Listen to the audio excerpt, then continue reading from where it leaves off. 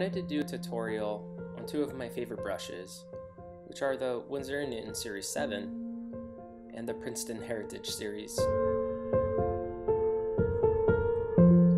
Both of these brushes are similar, as they are both round 3s, but you can kind of tell the difference already with how thick the Winsor & Newton Series 7 is compared to the Heritage Series. I was actually shocked when I first started doing this comparison as how much water is retained with the Winsor & Newton compared to the Princeton. I got pretty far with just one initial load of water and pigment. I wanted to go back and get one more load of water on there just to see how far I can actually stretch this. Now let's see how the Princeton Heritage holds up against the Winsor & Newton. Has a pretty good snap, At first, I was actually really impressed with the amount of pigment that the synthetic brush picked up.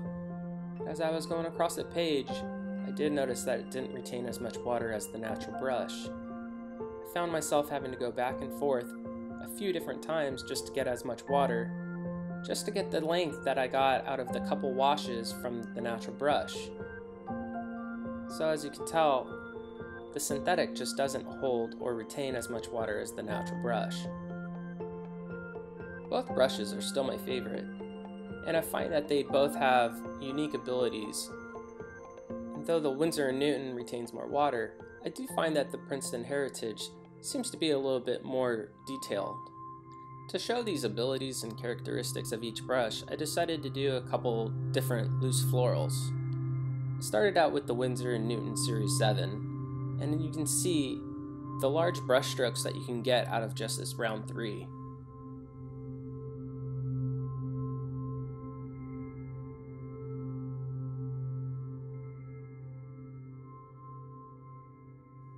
I think this brush is really great to do leaves.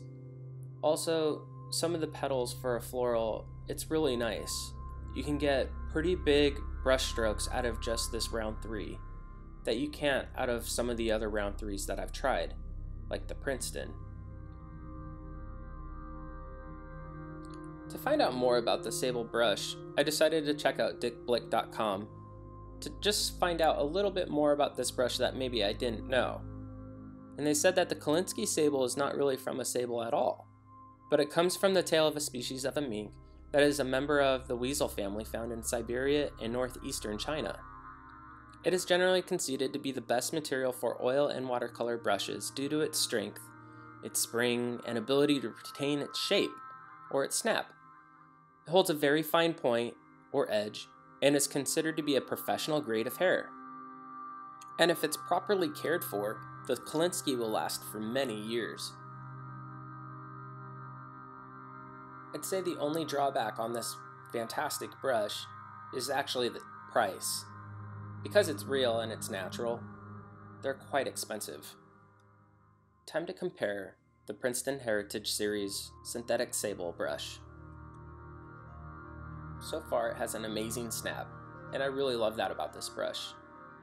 It actually has really good fine detail lines that I use for many of my projects. Although it is a round 3 and it's not getting the same brushstroke that the Winsor & Newton Series 7 had. It's a little bit smaller, but that's okay. I do find it a little bit more difficult to do those large brushstrokes because it doesn't retain as much water as the Winsor & Newton did.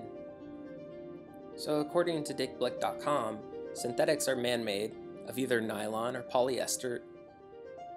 They can be tapered, tipped, flagged, abraded, or etched to increase color carrying ability. Often synthetic filaments are dyed and baked to make them softer and more absorbent. The more common name for this filament is Taklon. Advantages of the synthetic brush are they are less prone to damage from solvents, insects, or paints, they're easier to keep clean than animal hair brushes because the filaments don't have animal scale structures to trap the paint. They're less prone to breakage and are durable on many different surfaces. And also, they are better suited for painting with acrylics because a synthetic filament will withstand the caustic nature of the acrylic paints with less damage.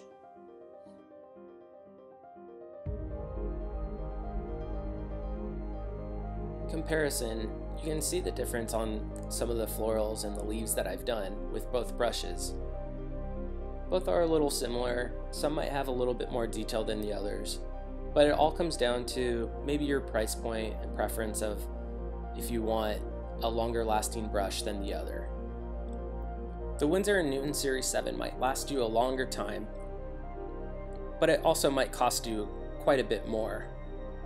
So it all comes down to your preference of maybe your price point or how long you actually might want to use this brush. For a beginner, I would suggest buying the Princeton Heritage Series brush over the Winsor & Newton. But if you've been doing this quite a while and you're a bit more of a professional, then maybe the Winsor & Newton Series 7. Like I said before, these are two brushes that I really love to use, and you can find different characteristics and abilities of both brush that you might find bring out different looks and styles of your art. I don't necessarily have a preference of both, but it's good to know what the difference is between a sable and a synthetic sable brush is. So I hope this video taught you a little bit more about the difference between what might be a natural brush and a fake brush, or as they like to call it, synthetic sable.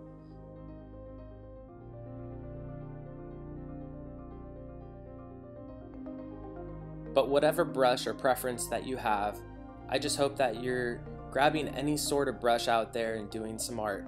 Whether it's today or tomorrow, just go out there and create something beautiful. Because in the end, it's not about the materials you used, but about what you brought into this world. Thank you for watching, and if you want more updates, please subscribe and like this video now.